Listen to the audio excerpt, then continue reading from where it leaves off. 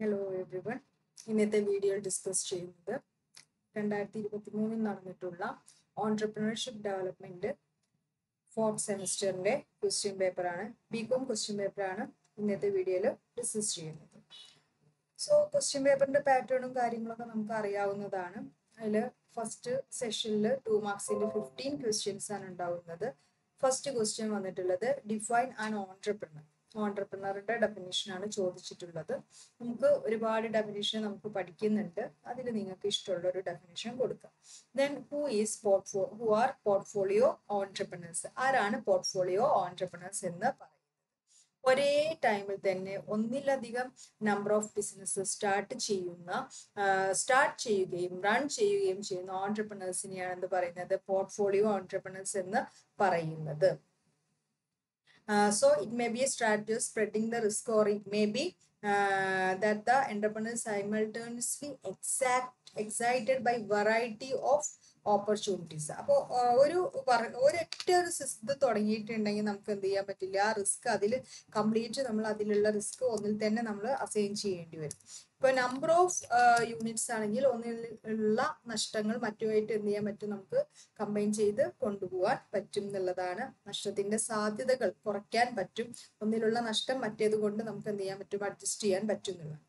അപ്പൊ അതിനൊക്കെ ശ്രമിക്കുന്ന ഓൺടർപ്രണേഴ്സിനെ നമുക്ക് പോർട്ട്ഫോളിയോ ഓൺടർപ്രണേഴ്സ് എന്ന് പറയാം. State any two objectives of E D P E D പിയുടെ ഓബ്ജക്റ്റീവ്സ് ആണ്. ഒന്ന് എക്കണോമിക് ഡെവലപ്മെന്റിന്റെ എസെൻഷ്യൽ ആണ് ഓൺടർപ്രണർഷിപ്പ് എന്ന് പറയുന്നത്. സക്സസ്ഫുൾ ഓൺടർപ്രണർ ആയി ഡെവലപ്പ് ചെയ്യാൻ പറ്റും. ദെൻ യങ്സ്റ്റേഴ്സിനെ സംബന്ധിച്ചിടത്തോളം ഒരു രാഷ്ട്രത്തിന്റെ സോഷ്യൽ ആൻഡ് എക്കണോമിക് ഡെവലപ്മെന്റിൽ ഹെൽപ്പ് ചെയ്യാൻ പറ്റും. ദെൻ അടുത്തത് mention any two functions of the national small industries corporation national small industries corporation എന്തെങ്കിലും രണ്ട് ഫങ്ഷൻസ് ആണ് എഴുതാൻ പറഞ്ഞിട്ടുള്ളത്. ഒന്ന് ഹയർ പർച്ചേസ് സ്കീമിന് സ്മോൾ സ്കെയിൽ ഇൻഡസ്ട്രീസിന് മെഷീനറി പ്രൊവൈഡ് ചെയ്യുന്നുണ്ട്. ലീസിംഗ് പ്രൊവൈഡ് ഫെസിലിറ്റി പ്രൊവൈഡ് ചെയ്യുന്നുണ്ട്. എക്സ്പോർട്ട് മാർക്കറ്റിങ്ങിന് ഹെൽപ്പ് ചെയ്യുന്നുണ്ട്. കൂടാതെ government participate in bulk purchase programme of the government ഗവൺമെന്റിന്റെ ബൾക്ക് പർച്ചേസ് പ്രോഗ്രാമിലും പാർട്ടിസിപ്പേറ്റ് ചെയ്യുന്നുണ്ട്. Then what is the main objectives of providing incentives incentives provide ചെയ്യുന്നതിന്റെ പ്രധാനപ്പെട്ട ലക്ഷ്യം എന്താണെന്നാണ് ചോദിച്ചിട്ടുള്ളത്. അത് എന്റർപ്രണേഴ്സിനെ കൂടുതലായിട്ട് മോട്ടിവേറ്റ് ചെയ്യിച്ചിട്ട് പുതിയൊരു വെഞ്ചർ സ്റ്റാർട്ട് ചെയ്യുക. അത് നാഷണൽസ് ഒരു രാജ്യത്തിന്റെ ഡെവലപ്മെന്റിന് ദെൻ കൂടുതലായിട്ട് ക്ഷേമം തൊഴിലവസരങ്ങൾ സൃഷ്ടിക്കുക ഈ കാര്യങ്ങൾക്കൊക്കെ വേണ്ടിയിട്ടാണ് നമ്മൾ എന്ത് ചെയ്യുന്നത്? ഇൻസെന്റീവ്സ് പ്രൊവൈഡ് ചെയ്യുന്നത്. What is industrial estate industrial estate എന്ന് പറഞ്ഞിട്ടുണ്ടെങ്കിൽ ഇൻഡസ്ട്രിയൽ ഡെവലപ്മെന്റിന് ഡെവലപ്മെന്റിന് വേണ്ടിയിട്ട് മാറ്റി വെച്ചിട്ടുള്ള ഒരു ഇൻഡസ്ട്രിയൽ ഏരിയ ഒരു ലാൻഡ് ആണ് എന്ന് പറയുന്നത്? ഇൻഡസ്ട്രിയൽ എസ്റ്റേറ്റ് എന്ന് പറയുന്നത്. What is bridge capital bridge capital എന്ന് പറഞ്ഞാൽ ഒരു കമ്പനി ഒരു ലോണ് കൊടുത്തിട്ടുണ്ടെങ്കിൽ ആ ലോണ് കമ്പനിക്ക് ലോണ് ആയി കിട്ടാൻ കുറച്ച് സമയം എടുക്കും അല്ലെ? അപ്പൊ ആ ഒരു പീരീഡ് ുള്ള ഫൈനാൻഷ്യൽ നീഡ്സ് എത്രയാണോ അത് കവർ ചെയ്യാൻ ആവശ്യമായിട്ടുള്ള ഫണ്ട് പ്രൊവൈഡ് ചെയ്യുന്ന സിസ്റ്റമാണ് ബ്രിഡ്ജ് ഫൈനാൻസിങ് എന്ന് പറയുന്നത്. അത് ടെമ്പററി ഫൈനാൻസിങ് സ്കീമാണ് കമ്പനിയുടെ ഷോർട്ട് ടേം കോസ്റ്റ് ആണ് ഇതിലൂടെ കവർ ചെയ്യുന്നത്.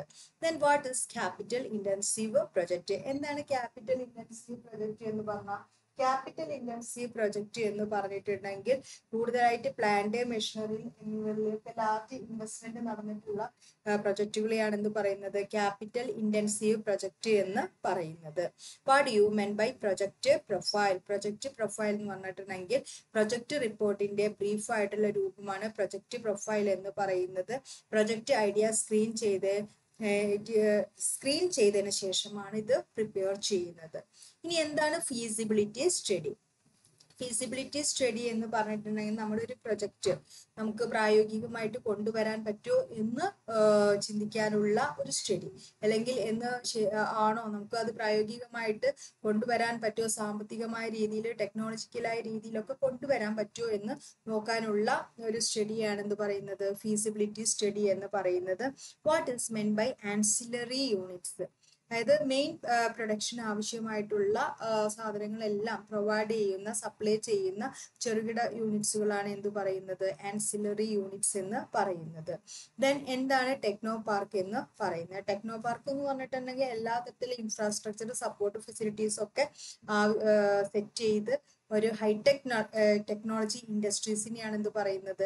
ടെക്നോ പാർക്ക് എന്ന് പറയുന്നത്. അവിടെ നമുക്ക് എന്ത് ചെയ്യാൻ പറ്റും? പുതിയ പുതിയ ഇൻഡസ്ട്രീസ് അതായത് ടെക്നോളജിക്കൽ റിലേറ്റഡ് ആയിട്ടുള്ള ഇൻഡസ്ട്രീസ് അവിടെ ചെന്ന് സ്റ്റാർട്ട് ചെയ്യാൻ പറ്റും. ദെൻ ഫൈനാൻഷ്യൽ അനാലിസിസ് എന്ന് പറഞ്ഞാൽ ഒരു പ്രൊജക്റ്റിനെ കുറിച്ചിട്ടുള്ള സാമ്പത്തികമായ വിവരങ്ങളെല്ലാം കളക്ട് ചെയ്യുന്ന പ്രോസസ്സാണ് financial analysis export oriented units എന്ന് പറഞ്ഞിട്ടുണ്ടെങ്കിൽ ഒരു S S I export oriented unit ആവണമെങ്കിൽ അതിന്റെ മൊത്തം മാനുവൽ പ്രൊഡക്ഷന്റെ തേർട്ടി പെർസെന്റ് എന്ത് ചെയ്തിരിക്കണം?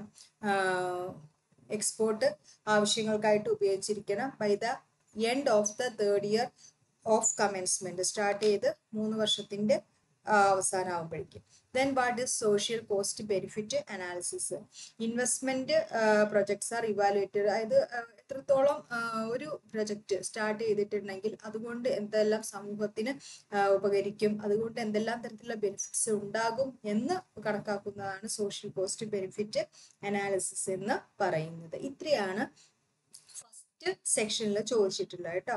ദെൻ പാർട്ട് ബിയിൽ ചോദിച്ചിട്ടുള്ളത് briefly explain the barriers to entrepreneurship on ഞാൻ ഇതിന്റെ ഒക്കെ പോയിന്റ്സ് കൊടുത്തിട്ടുള്ളൂ. ഇപ്പോൾ ഈ രണ്ട് മാർക്കിനുള്ളത് ഒറ്റ സെന്റൻസ് കൊടുത്തിട്ടുള്ളൂ. ദയവ് ചെയ്ത് ആരും ഒരു ചെറിയ സെന്റൻസിലൂടെ എന്ത് ചെയ്യരുത്? ആൻസർ ചെയ്യരുത്. നമ്മുടെ മാർക്ക് പോകും രണ്ട് സെന്റൻസെങ്കിലും എന്ത് ചെയ്യുക? രണ്ട് മാർക്കിന്റെ ക്വസ്റ്റ്യനിൽ മിനിമം കൊടുക്കാൻ ശ്രദ്ധിക്കുക. Then briefly explain the barriers to entrepreneurship ഒന്ന് unwillingness to invest money and take risk നമുക്ക് പണം ഇൻവെസ്റ്റ് ചെയ്യാൻ റിസ്ക് ഏറ്റെടുക്കാനുള്ള വില്ലിങ്നെസ് ഇല്ലായ്മ. ദെൻ ബിസിനസ് സമൂഹത്തിന്റെ കണ്ണിൽ ഒരു ഗവൺമെന്റ് ജോബിന്റെ അത്ര സ്റ്റാറ്റസ് എന്ത് ചെയ്യുന്നില്ല. ചില ബിസിനസ് ജോബിന് വരുന്നില്ല. ദെൻ മാർക്കറ്റിനെ കുറിച്ച് ഇംപെർഫെക്റ്റീവ് ആയിട്ടുള്ള മാർക്കറ്റ് ക്യാപിറ്റലിന്റെ ഷോർട്ടേജ് ഇൻഫ്രാസ്ട്രക്ചറിന്റെ കുറവ് അതേപോലെ തന്നെ ഭരണപരമായ കാര്യങ്ങളിൽ അതായത് ഇതിന്റെ പേപ്പറും കാര്യങ്ങളൊക്കെ നോക്കാൻ നമ്മൾ ഒക്കെ റെഡിയാക്കാൻ പോകുമ്പോൾ അവിടെ ഉള്ള പ്രശ്നങ്ങൾ അഴിമതി പ്രശ്നങ്ങൾ ഉണ്ടായിരിക്കും. പിന്നെ ഒരുപാട് ലീഗൽ ഫോർമാലിറ്റീസ് ഉണ്ടായിരിക്കും. പിന്നെ ബിസിനസ്സിനെ കുറിച്ചിട്ടുള്ള എഡ്യൂക്കേഷൻ എന്ന് പറയുന്നത് ആളുകളിൽ കുറവാണ്. ഇത്രയൊക്കെയാണ് ഇതിന്റെ ബാരിയേഴ്സ് ആയിട്ട് പറയുന്നത്. And what are the consideration influencing the plant capacity പ്ലാന്റിന്റെ കപ്പാസിറ്റി എന്തെല്ലാം കാര്യങ്ങളാണ്? ഒന്ന് നമ്മുടെ ടെക്നോളജിയുടെ requirement investment cost input constraints market condition government policy resources of the firm then what is the need for incentives to entrepreneurs ഓൺടർപ്രണേഴ്സിന് ഈ incentives provide ചെയ്യുന്ന ഒന്ന് economic ആയിട്ടുള്ള കൺസ്ട്രെയിൻസ് തടസ്സങ്ങൾ കുറയ്ക്കുക എന്നുള്ള ഇൻസെന്റീവ്സ് കിട്ടുമ്പോൾ അവർക്കുള്ള സാമ്പത്തിക പ്രശ്നങ്ങൾ കുറച്ച് കുറയും.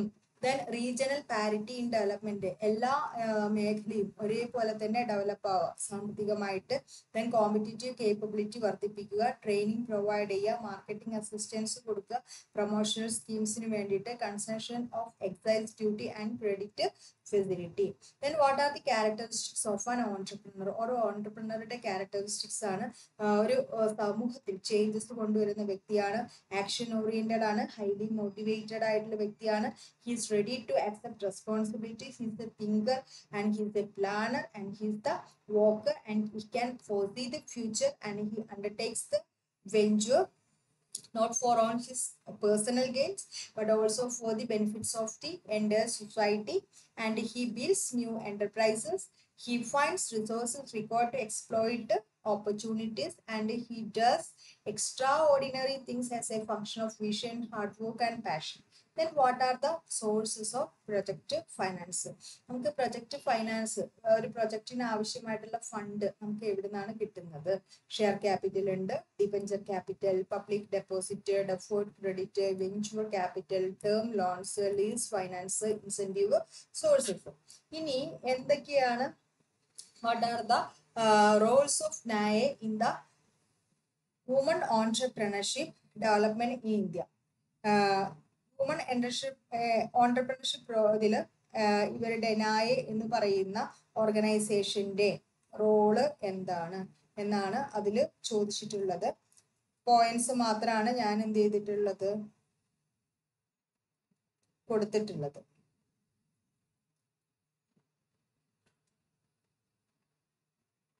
അതിലേതൊക്കെ വരുന്നത്? Getting access to capital infrastructure and market നമുക്ക് ആവശ്യമായിട്ടുള്ള ക്യാപിറ്റൽ ഇൻഫ്രാസ്ട്രക്ചർ എന്ത് ചെയ്യുന്നു ഉണ്ടാക്കി തരാനും അതേപോലെ ഒരു മാർക്കറ്റ് ഏത് തരത്തിലുള്ള പ്രൊഡക്ട്സ് ഏത് എന്നുള്ളത് നമുക്ക് ഇതാക്കി തരുന്നു. നാഷണൽ അലയൻസ് ഓഫ് യങ് ഓൺടർപ്രണേഴ്സിനെയാണ് ഇത് പറയുന്നത്.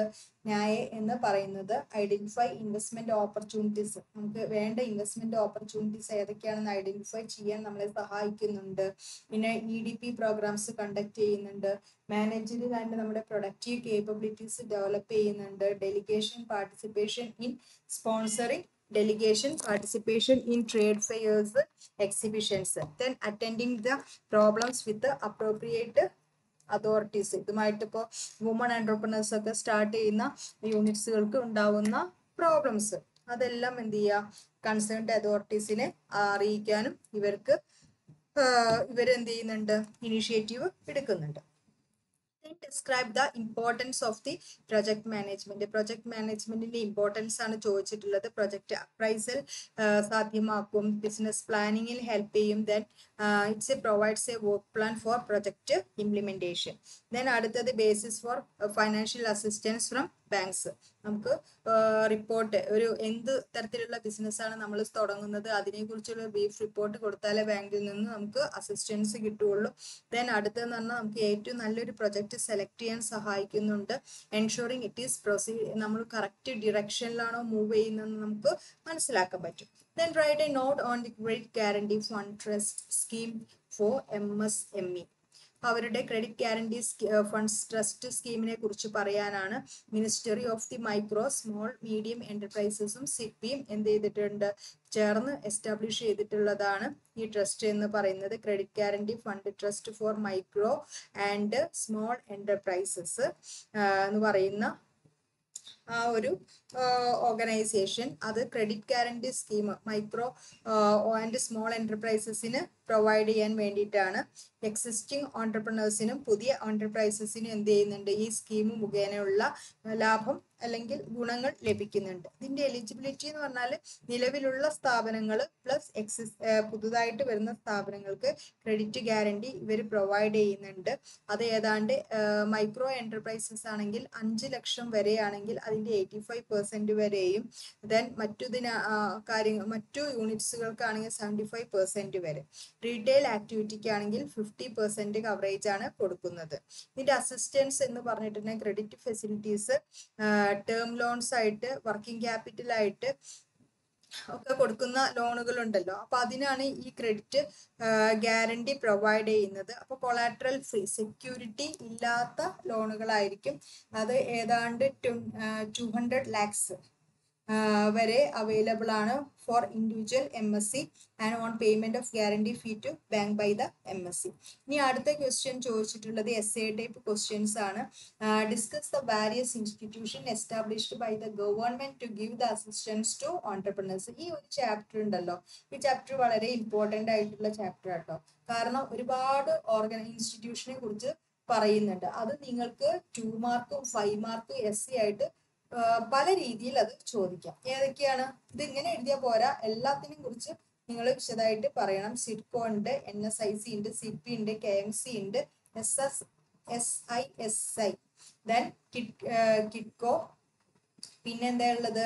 Science and technology entrepreneurship development project ഉണ്ട് എൻ ഇ ഡി ബി ഉണ്ട്. Then N I E S B U D ഉണ്ട്. പിന്നെ small state small industries corporation expert export promotion councils commodity boards detailed ആയിട്ട് നന്നായിട്ട് പഠിച്ചു പോയിക്കോളൂ what is a project report give a proforma of project report project report എന്താണെന്ന് എഴുതുക.